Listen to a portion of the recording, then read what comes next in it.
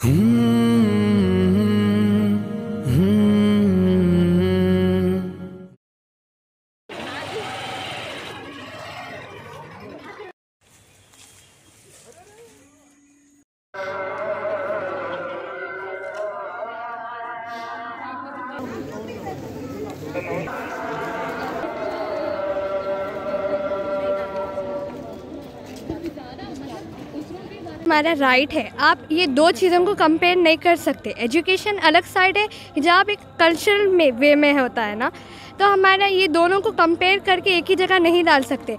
हमें पढ़ने का पूरा राइट है। अब हर किसी की पढ़ाई इसी वे में बंद कर दे सकते हैं क्या? कल्चर और एजुकेशन अलग लेवल का है। और इसी वजह से आजकल एजुकेशन हमारे पास कम होते जा रहा है। ये अलग अलग मैटर्स को इसमें इंटरफियर करते जा रहे हैं, जिसकी वजह से आजकल हमारे पास एजुकेशन की वजह से लोग बहुत ही इलिटरेट होते जा रहे हैं। तो हमें इसको बंद करना चाहिए और इंक्रेज करना चाहिए कि हम पढ़ाई पे ज़्यादा फोकस करें। ये अदर मैटर्स को साइड में रखना चाहिए। और और अच्छे मतलब एजुकेशन को इम्प्रूव करना चाहिए और ये अलग अलग छोटे मोटे चीज़ों को इंटरफेयर करना नहीं चाहिए इस चीज़ में। एग्जैक्टली exactly, लाइक like पहले आप बोलते हो कि बेटी को बचाओ फिर बेटी को फिर उसी चीज़ से वो कर देते हो, पीछे हटा देते हो। अब लड़की हिजाब करना चाहती है, वो पढ़ नहीं पा रही है। तो अब बेटी को बचा रहे हैं या फिर उन्हें पीछे कर रहे हैं? एक तरीके के है ना, पढ़ाई की तरफ़ एक रुकावट है। हमें वो छोड़ के ये सबको पढ़ाई की तरफ़ तवज्जो करना चाहिए। और बेटी को बचाना है तो आप पढ़ाइए पहले, फिर इन चीज़ों पर गौर फरमाइए।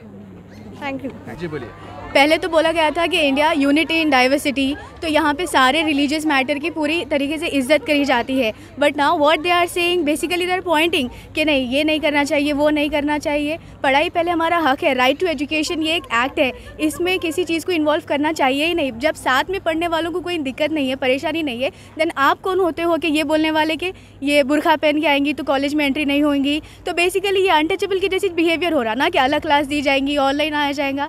ऐसा बिल्कुल भी नहीं है। पढ़ाई हर किसी का हक है और हमारे इस्लाम में भी यही बताया जा रहा है। सो so, यहाँ पे किसी को नीचा दिखाना किसी को ऊँचा दिखाना ऐसी कोई बात ही नहीं है। अगर फेमिनिज़म के बाद से भी देखा जाए तो जो अपने को पहनना है वो पहनने का हक है हमारे को। तो this is what we choose to where so you don't need to ask what you are going to where why you are going to where no this is not right So not only according to the religious matter, but according to the feminism also, we choose what we want to wear, not you. Uh, I am the student of Nizamiyat Devi College. Today we are here to protest, uh, doing a silent protest for our Karnataka uh, hijabian uh, students because we are with them. I just want to say one thing, when wearing less clothes, it's celebrated, it's a choice, it's a liberty and it's a human right. Then why an extra piece of hijab is bothering everyone, hurting so many sentimentals? I don't know.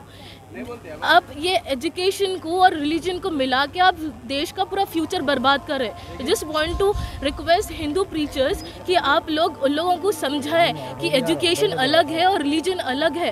उन लोगों को समझा के निकाले वो चीज़ से। आप college में जाके स्कूल में जाके रिलीजन ये सब कर रहे हैं आप आप पढ़ने जा रहे हैं क्या करने जा रहे हैं? हमारी राइट है, हम लोग फॉलो करते हैं उसको। सब लोग हिंदू जैसा टीका लगाते हैं, हर लोग अलग अलग रिलीजन में अलग अलग फॉलो करते हैं, ये भी हमारी राइट है।